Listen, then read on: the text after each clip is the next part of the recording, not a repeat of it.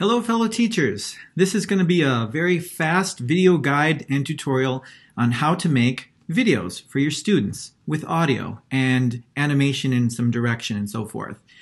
Now if you don't have a built-in screen recorder as is what is available on Macintoshes, you can use Screencast-O-Matic and it's free to use and I find it to be very effective.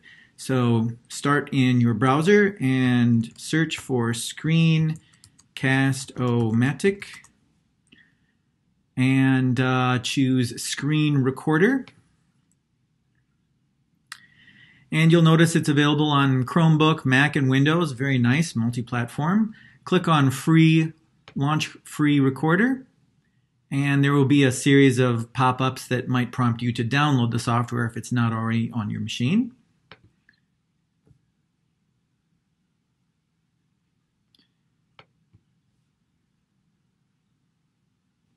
Okay.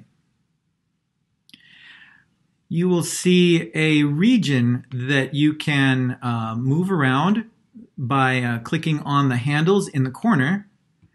And I'm going to choose screen record only. We don't need both. And uh, so I'm going to switch to my uh, PowerPoint presentation here, and I'm going to select a region of my slides. Now, I'm not going to use play. I'm just going to go through the slides as normal. The resulting video will have only the area here within the, uh, the lines.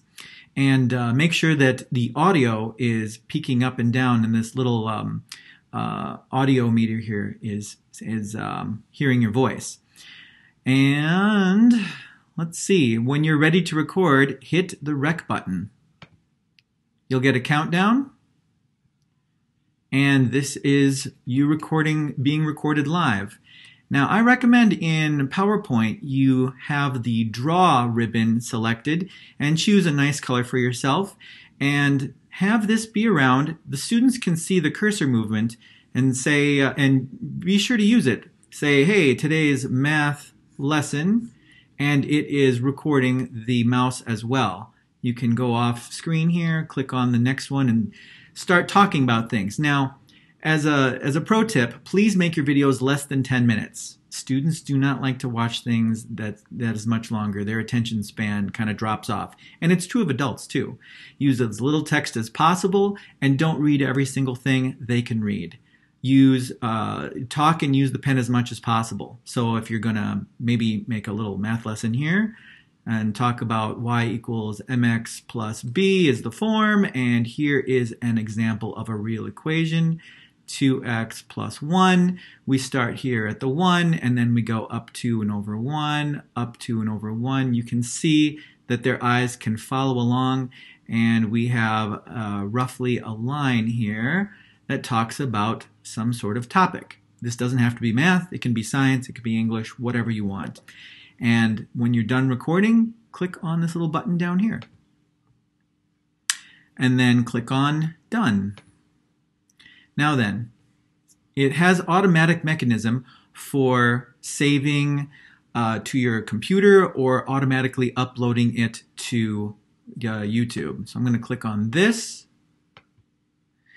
And then I like to have the video saved right on my own machine. Then I have a little bit of control over it. I might be able to make some edits and so forth.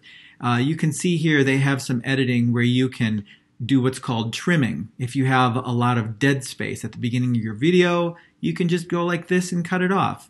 Or if you have a lot of dead space at the end, so forth, like that.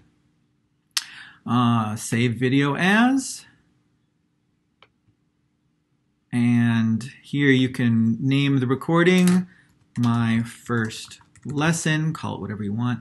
And then when you uh, click on publish, it does its thing. It'll take longer if you have a very long video. And then browse folder will take you to where the file ended up. In this case, it put it right on my desktop. And so when I view it, just to make sure it worked out, and this is you recording, being recorded live. Now I recommend 2x plus 1 it looks like it recorded. And uh, we can see in the lower left corner is a watermark. again, not a problem. So there you go. Uh, if you don't like using PowerPoint, you can also use OneNote. I really like OneNote. This is my main thing because you get a little bit more screen space and it's very easy to draw, very easy to add text, bring in graphics, um, anything that you want. So PowerPoint, OneNote, either is good. This serves as a very nice ad hoc whiteboard. All right, fellow teachers, hope this was helpful to you.